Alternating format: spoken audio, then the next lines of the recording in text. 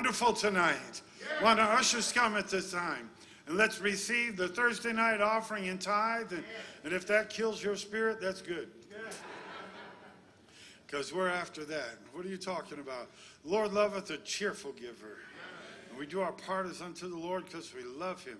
This opportunity to give is just a blessed thing, and so we do it as unto the Lord. So just give from your heart and let God lead you. Pay your tithe, give in the offering. God's got a blessing for you, brother, if you'll pray.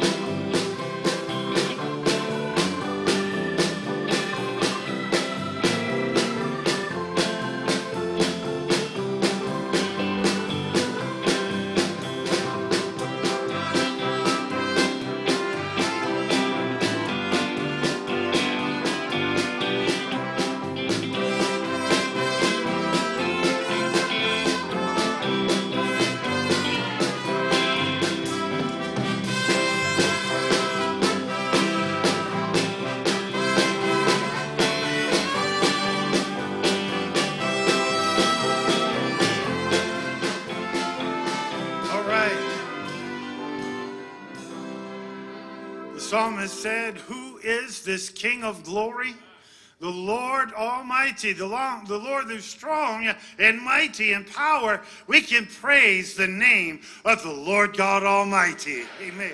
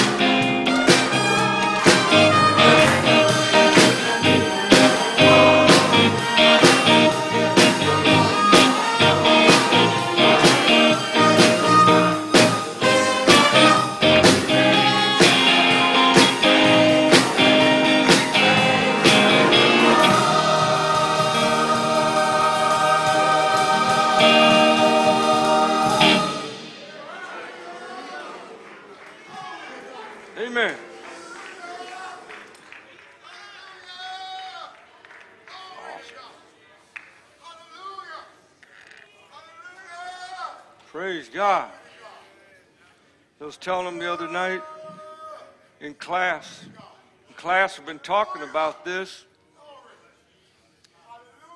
You too, if you're a Christian, shall reign forevermore.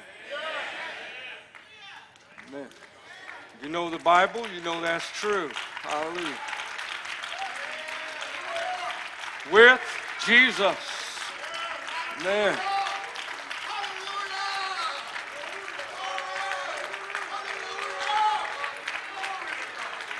This bunch just thinks they run things. But I know the King of Kings and the Lord of Lords. Amen. You may be seated. I'm reading to you tonight from Exodus chapter 3, beginning at verse 7. And the Lord said, I have surely seen the affliction of my people which are in Egypt, and have heard their cry by reason of their taskmasters. For I know their sorrows, and I am come down to deliver them out of the hand of the Egyptians, and to bring them up out of that land unto a good land and a large, unto a land flowing with milk and honey. Unto the place of the Canaanites and the Hittites and the Amorites and the Perizzites and the Hivites and the Jebusites and the Outsites. Now therefore, Behold, the cry of the children of Israel is to come unto, is come unto me, and I have also seen the oppression wherewith the Egyptians oppressed them. Come now, therefore, and I will send thee unto Pharaoh, that thou mayest bring forth my people, the children of Israel, out of Egypt. And I want to use as a text to preach from tonight, verse 9 now therefore, behold, the cry of the children of Israel is come unto me, and I have also seen the oppression wherewith the Egyptians oppressed them. Let us pray. Pastor Kinster, pray if you would.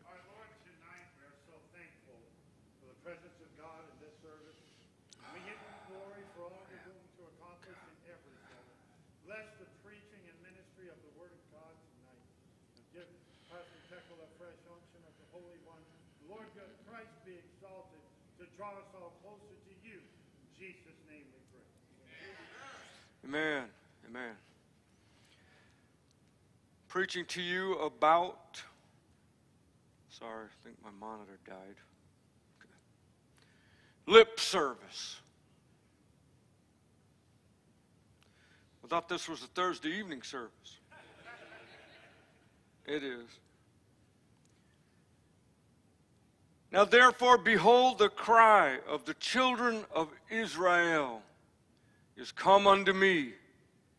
And I have also seen the oppression wherewith the Egyptians oppressed them. This was a conversation between God and Moses, the deliverer of Israel. Interesting how God's people, Israel, called out to God for help in their distress. And God told Moses, I heard their cry. And I'm sending you to lead them out. God heard their cries for help and brought them out of their slavery and their misery. But the cry from Egypt was only lip service. Before they even before they even got across the Red Sea good, I'll wait till she's done so that you can. what do you need, sister? Everybody's looking at you, so I'll just wait. Do you need him to go check on kids or something? Okay. All right.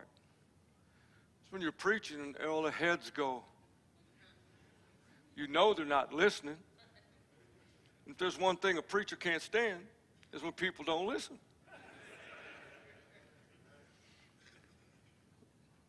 Do you need to take care of something?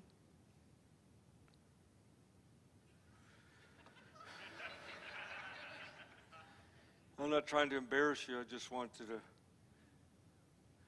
Well, go ahead, whatever. They're not going to listen anyway. That's what Pastor Davis used to say. He used to say, Do what you want to do. That's what you're going to do anyway. You don't like that either, right? Okay. Well, find something you like and latch on to that tonight, whatever it is. The cry from Egypt was only lip service before they even got across the Red Sea.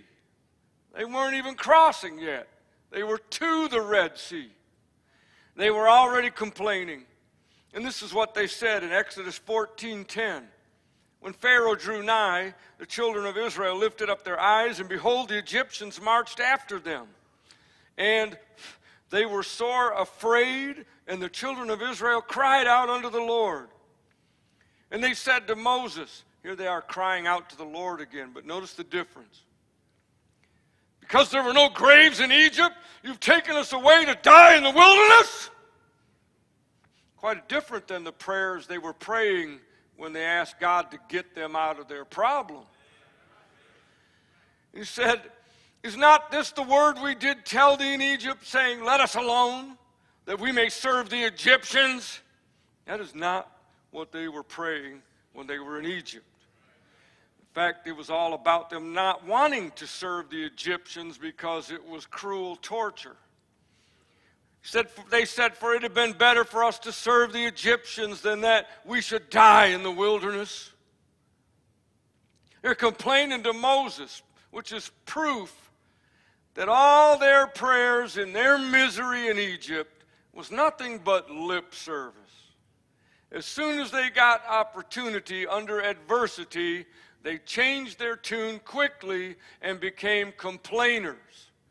They had no real sincerity in their prayers to God from their slavery. They just wanted a fire escape. It was the cry of hypocrisy. Like Israel, many today offer God only lip service. They cry out when they're desperate, they shed tears, but they quickly forget. This is because they only pray to get out of trouble. The rest of the time, you'll not find them praying. It's like a lot of Christians, too, who prayed to get saved after God saved them. They didn't pray much after that. Prayer became a thing of the past instead of a pastime. And so they know that God requires them to serve Him, but they refuse to serve Him. And even when people are desperate, they cry out to God, but they do not intend to change. They never quite get saved. In the hospital, on a deathbed, they'll call out unto the Lord. If they think their life is over, they'll call out unto the Lord. If a, loved one is dying, and they don't want them to die. They'll cry, these people will cry for the of the loved one and they'll pray and ask God to spare their lives. And I know this by experience because I did it a couple times myself. You cry out to the Lord, save them. If you'll have mercy on them, Lord, I will do this and do that. I'll serve you. I'll give you my life. And then they don't do it. It was nothing more than lip service. Lip service is a cliche from many years ago, and it means just saying words that you don't really mean. You give somebody lip service and say what you think they want to hear you say, but you have no intention of doing what you say. It was a cry of hypocrisy. They were certainly oppressed. They were absolutely miserable, but they didn't mean what they said. They wanted God to get them out of it, but when He did, they had no more need for God. And a lot of people today, they won't get saved because they don't have any need for God. So they think. They think they don't need God. And we all need God. God's attitude toward this lip service was shown in Isaiah the prophet, chapter 1. At verse 10, he began and he said, Hear the word of the Lord, ye rulers of Sodom, and give ear unto the law of our God, ye people of Gomorrah. Now, this was not Sodom and Gomorrah. He was talking to Israel, and this is the prophet Isaiah. This is long after the destruction of Sodom and Gomorrah. And he was talking to them and referring to them as if they were somehow like Sodom and Gomorrah in that they were wicked, idolatrous, and had departed from their God. And he said, Listen to me, O Sodom and Gomorrah. To what purpose is the multitude of your sacrifices unto me, saith the Lord? I am full of the burnt offerings of rams and the fat of fed beasts, and I delight not in the blood of bullocks or of lambs or of he goats. When you come to appear before me, who hath required this at your hand to tread my courts? Who required you to come into the house of the Lord? He said, Bring no more vain oblations Incense is an abomination unto me. So that means you got to go home get rid of your incense, right? Only if you're covering up marijuana smoke with it. Uh, keep the incense, get rid of the marijuana. But it's an abomination unto me. Oh, you thought I didn't know about that trick, huh? Okay, cool.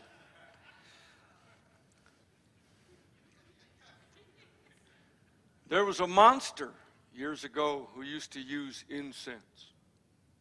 Never heard of frankincense? Uh, whatever. Guess I guess not.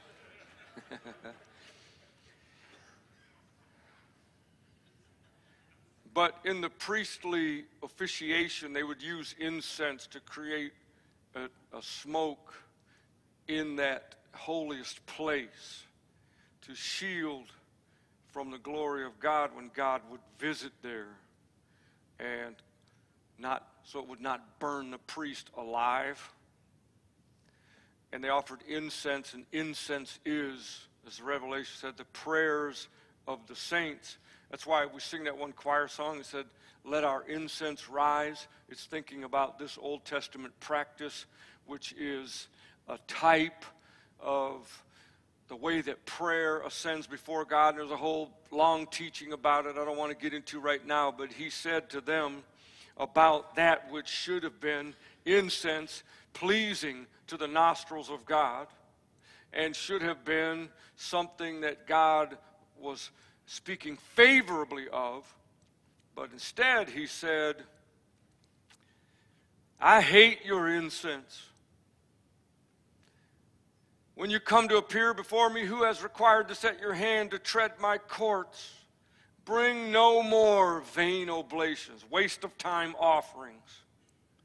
Incense is an abomination unto me. The new moons and Sabbaths, the calling of assemblies, I cannot away with. It is iniquity, even the solemn meeting. Your new moons and your appointed feasts my soul hateth. They are a trouble unto me. I am weary to bear them. And when you spread forth your hands, I will hide mine eyes from you. Yea, when you make many prayers, I will not hear. Your hands are full of blood. Wash you, make you clean. Put away the evil of your doings from before mine eyes. Cease to do evil. Learn to do well. Seek judgment. Relieve the oppressed. Judge the fatherless. Plead for the widow. Come now and let us reason together, saith the Lord. Though your sins be as scarlet, they shall be as white as snow. Though they be red like crimson, they shall be as wool or cleansed white like white wool. If ye be willing and obedient, ye shall eat the good of the land. But if ye refuse and rebel, ye shall be devoured with the sword, for the mouth of the Lord hath spoken it. History shows that they chose the latter. They refused, they rebelled, and enemies overran their land and destroyed their entire nation. All because they would not listen. And here God was saying to them that when you come into my house, I didn't require you to do that. You're supposed to be here because you want to be. I didn't demand that or force you to come into the house of God. And he said, when you do and you spread forth your hands and you make your offerings and all this, because you are wicked and because it is the cry of hypocrisy, I can't stand it. God told him, You take it, I don't want it. I hate what you're doing because you're doing it in hypocrisy. Didn't the Bible say, I will that men pray everywhere lifting up holy hands? Holy hands without wrath, without the wrath of God upon you, without doubting, in faith. You raise up your hands, not just doing it because you're in a service or because you want to fit in with everybody else. But it was lip service. The, res- the solution was why don't you let me wash you and make you clean? If you can be clean, then you can really raise your hands. I contended over and over and over, and people don't like it. They get upset with me. They criticize me. They do whatever. I'm a big boy. I got my big boy panties on, so I can take it. It's all right. They don't mean anything by it, but they don't like it when you say, if you can't raise your hands to God, you're not saved. Something's wrong in your heart if you never worship God, you never pray, you never talk with God. When you're in the house of God, you are detached and remote and distant. You slip in at the last minute and slip out at the first minute. Why aren't you late leaving church? No one's ever late leaving church. Man, they're out the door. I got to beat everybody in the parking lot. Why? If you hang around in fellowship, all it'll be cleared out and you'll have a clear pathway all the way home. So if that's what it's all about, all you got to do is wait it out. You don't have to be the first one to fly out the gate and hit the neighbor's goat. Just why don't you want to be around the saints of God? What's wrong with you that you don't want to worship your God that you say you have. But don't worship him in hypocrisy. Do what is suggested here. Let me go to the Lord and be clean. He said, No matter how dirty you are, I can clean you up. No matter how filthy the stain of sin, I can wash it away, he said. If you be willing and obedient, you shall eat the fat of the land. You'll have everything you need. I will bless you. I will supply for you. But if you refuse and rebel, you will be devoured with the sword. And so I think the first one is the best choice.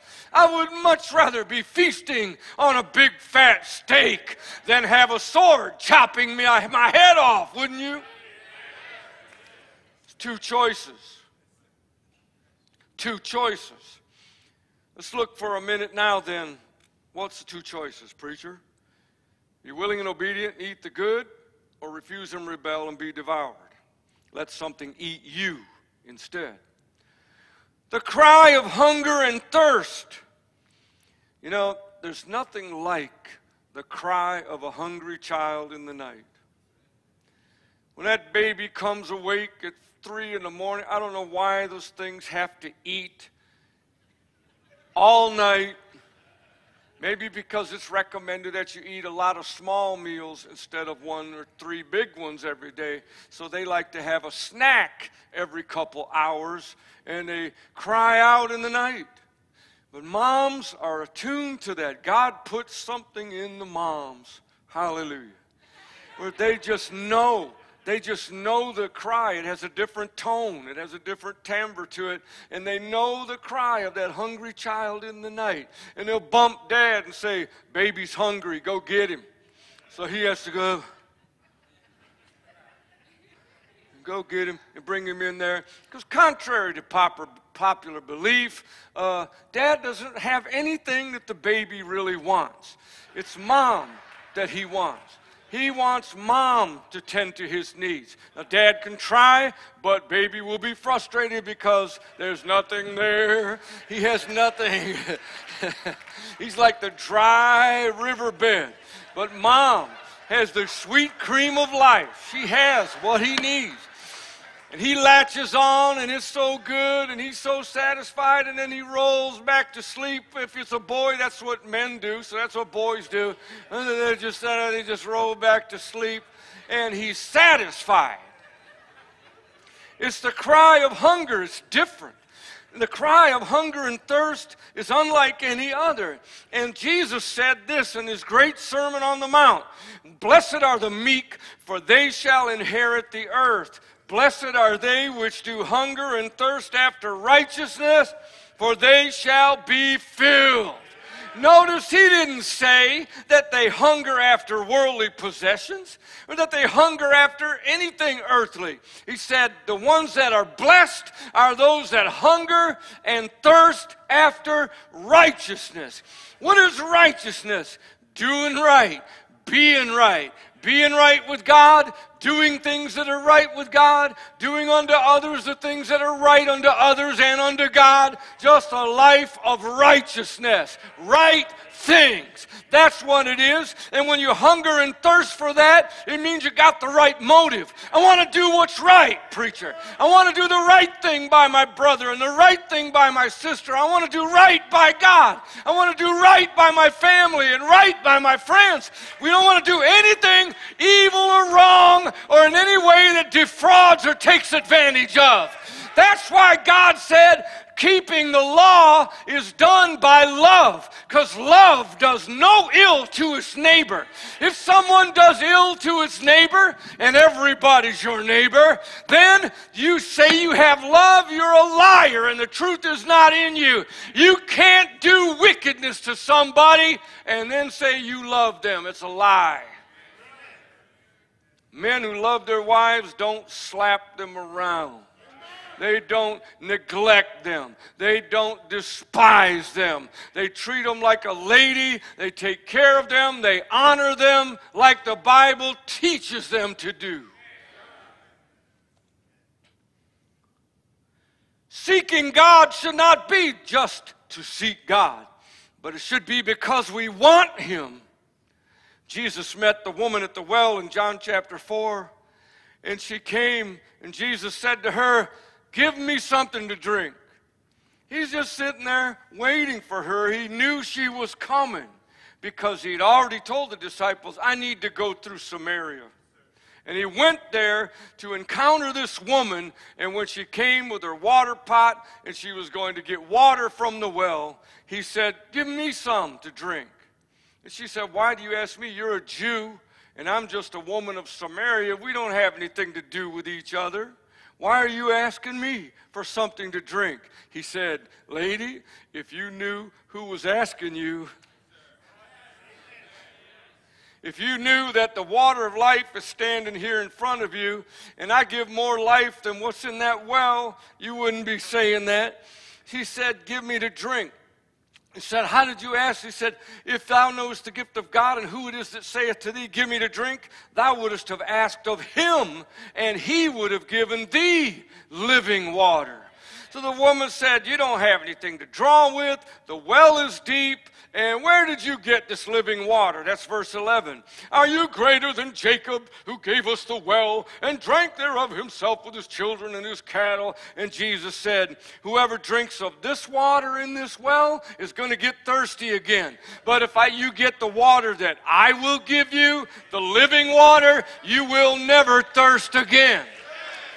What I'm going to give you is going to satisfy you. You see, this is a perfect picture of the unsaved and the saved. They in the world do not hunger after righteousness. It is not in their nature to want the right thing, only in some certain cases. They are thirsty and they are hungry and they don't even know what for. So they keep eating this lousy, rotten diet of the devil's food every day. They eat devil's food cake, deviled eggs, devil this and devil that. All devil food. That's all they feed on. The world, sin, partying, garbage, people, fair weather friends, darkness, evil, wicked, all these things. But when I came to God and I did what the psalmist said, which was, taste and see that the Lord is good. When I found out how good he was, I didn't have any regret of saying goodbye to all of that garbage. It doesn't satisfy, it leaves me discouraged and darkened and weak and depressed. But Jesus lifted me up and He put joy in my heart. It put satisfaction in my life. And I have no regrets today to say, He is the light of my life. He is my tower of refuge, my strength, my salvation, my deliverer, my song in the midnight hour. Hallelujah. That's why the psalmist said, As the hart panteth after the water brooks, so thirsteth my soul for thee, O God.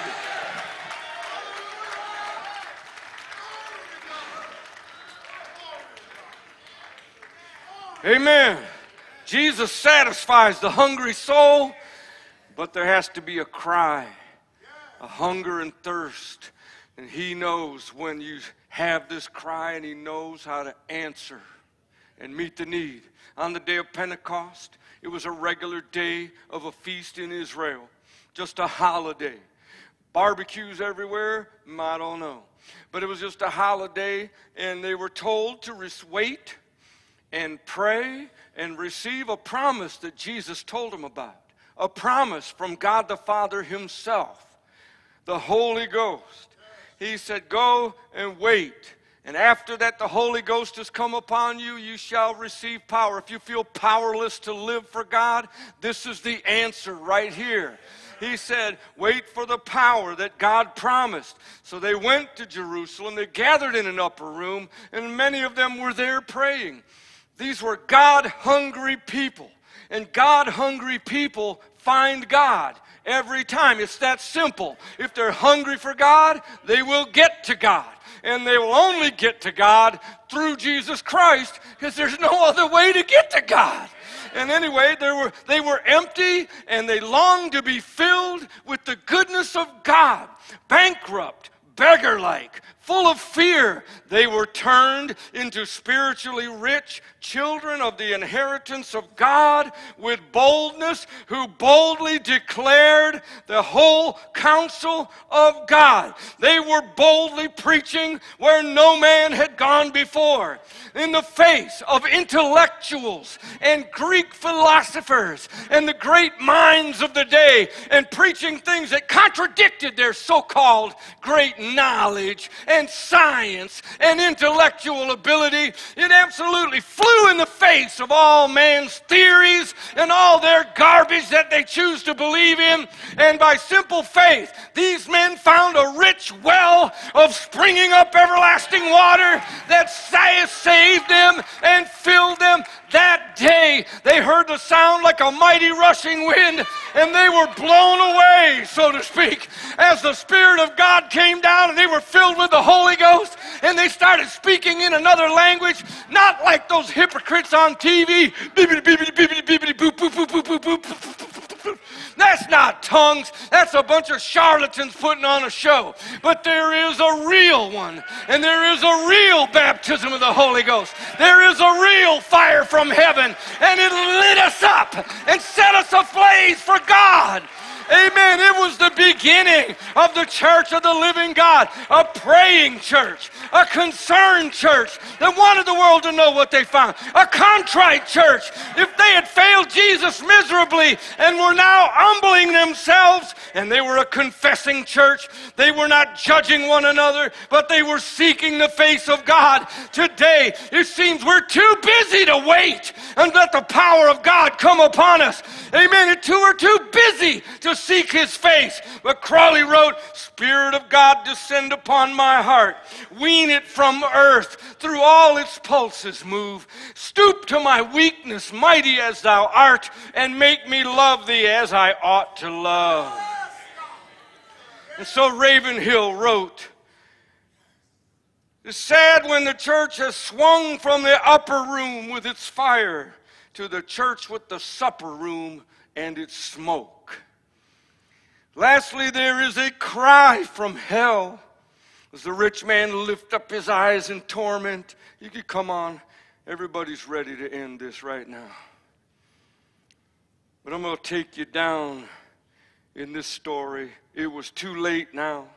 The rich man died. He lifted up his eyes in hell, and the time for praying was over. He said, I need just a drop of water to cool my tongue because I'm tormented in this flame. The cry from hell rang across the great gulf and over into the ears of those who were the righteous dead, the people of God. And Abraham said, Son, you had your good things when you were alive, and now you are tormented. Nobody can come from here to there, and you can't come from there to here. But a preacher told a story because he had it in his mind, and I'll finish with this right here. He had it in his mind that maybe he was wrong. This was a preacher many years ago. Because people were saying hell's not literal, hell's not real, it's not true, it's not real, it was just a figure of speech that was used, but it's not a real place where there's real torment. Sound like a JW, doesn't it? And there were so many voices saying this that he kind of began to doubt his own belief wonder, God, have I, have I gotten it wrong? Is there something I've missed? Help me. Help me to see, Lord. Am I mistaken? In the vision that night, he dreamed a dream. And two giants, he said, led him away down, down, down until he got to the lake of fire. And he said he could hear the screaming victims everywhere. And he recognized an old friend in the flames screaming and writhing in torment. And he called out to him, called him by name, said, What are you doing here? He said, I was in an automobile accident two weeks ago and I landed in this awful place. The next day, he went to visit that friend, and his mother answered the door. When he asked for his friend, she just looked pale and said, Haven't you heard? Two weeks ago, he was in an automobile accident and he died. From that point on, the preacher knew I'm not mistaken.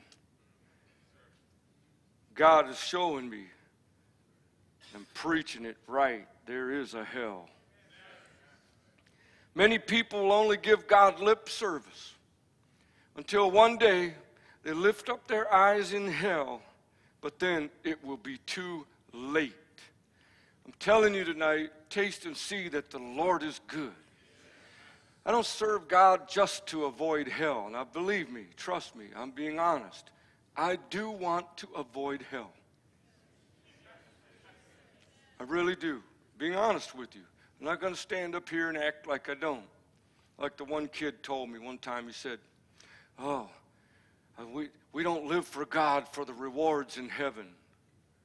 He said, So, how about, uh, you know, I, I just, that's not why I live for God, because of what I'll get and making it to heaven and all that. I said, All right, right now, standing right here before God on this sidewalk, son, renounce everything that God has waiting for you. Tell him right now you don't want it. You don't want heaven. You don't want the rewards of God's inheritance. He said, Well, wait a minute. I said, Yeah, it's exactly what I thought. So I'm not going to act like I don't want to avoid hell. I definitely do not want to die and go to hell. But that's not why we serve him as much as that we tasted and found that He's really good. And the lives that we have right now may not be as perfect as some would want them, but they sure are a lot better than living without God. The way of the sinner is hard. It doesn't matter how good they may be, their way is still difficult and has all of its penalties and appendages, but the way of God is so much better. Man, when your conscience is clear and your heart is pure and you love people and you want to be around the people of God, it's awesome. It's a great thing. And, and uh, many, I think there are many that aren't with us anymore that know they left something really good behind. They can't even leave us alone. They can't can't stop thinking about us and checking on us and seeing what we're doing and who's where and who said what. You know why? Because they know the love we have that bridges all the racial barriers. It reaches out across the national barriers. There aren't any. We are a church of all nations, all people, because that's what God's church is. Every nation from the North Pole to the South Pole and the East Pole to the West Pole. He is the God of all the earth. And I'm so thankful tonight that I tasted and found out are you hungry and thirsty tonight? If you're hungry and thirsty, you can have what you need. It's as simple as a crying out, the cry of hunger and of thirst. Lord, I need something tonight. Lord, I'm bowing the knee before you. I need you to touch me tonight. Lord, I need you to renew the fire burning in my spirit. Renew my love. Renew my dedication over and over and over. God, we cry. How about you? Where are you with it tonight?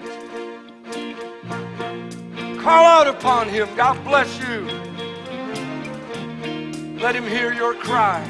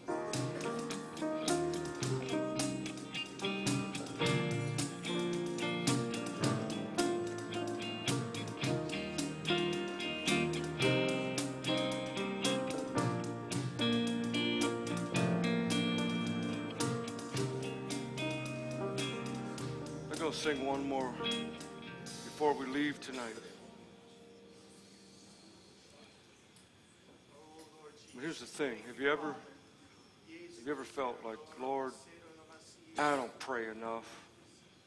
I need to pray more. And days go by and it just seems like you didn't get to it.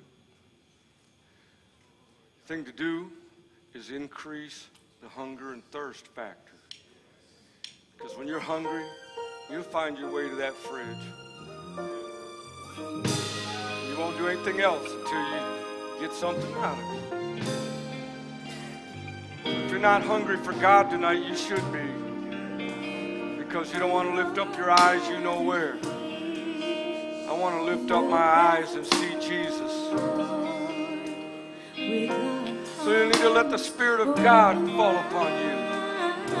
If you will, He will transform your life. But you have to be willing and obedient. God bless you. To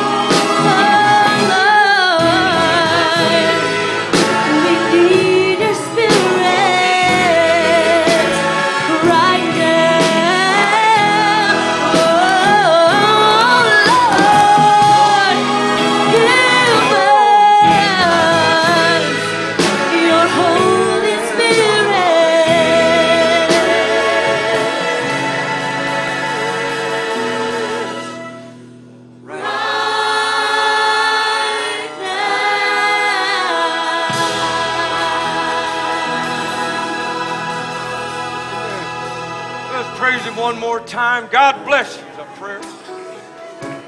Weekend service is coming up. Sunday morning, Sunday night. Come hungry and thirsty for something from God.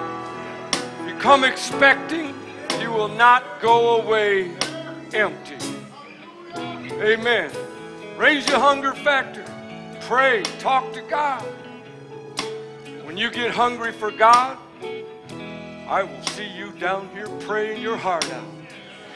So let's have something like that Sunday morning. Be a great time. Tell yourself, build yourself up. Sunday morning, I'm going to pray harder than I've ever prayed. I'm going down there and I'm going to show that preacher that I'm not proud and afraid to go down to the front and pray. I'm looking forward to it. God bless you. Welcome, Sister Oliva. Clarissa is joining the Graham team for a little while. Fresh out of Florida, no alligators in tow. Hallelujah. And also, what else? I'm glad to have my son in church with us tonight. He's visiting from Austin, Texas for about a week. And uh, what else was there? Something else. Oh, I meant to tell you about brother sister Owens. They kind of got away from me. I didn't realize when their departure date was. They didn't just disappear, but they've gone to work with brother sister Walls in Madison, Wisconsin. They're already there. You haven't seen the two wild boys running around? That's why, because they're already there and they're having a good time. So pray for them that they can get established, that God will bless them there. And uh, they're looking for a building, been trying to get a building there. Instead of sharing, trying to get a building of our own, we're kind of waiting on somebody else's real estate deal to fall through. I'm not wishing them any bad luck. But if their loan doesn't go through, we're going to grab it. We already have dibs on it. It's a nice building. And so it was a JW place. So we'll actually bring the kingdom into the kingdom hall. Make it a real church. So we're looking forward to it. And if God wants us to have it, we will. If He doesn't, on to the next thing. God will provide. So pray about that. God bless you. See you Sunday here in the house of the Lord. Amen.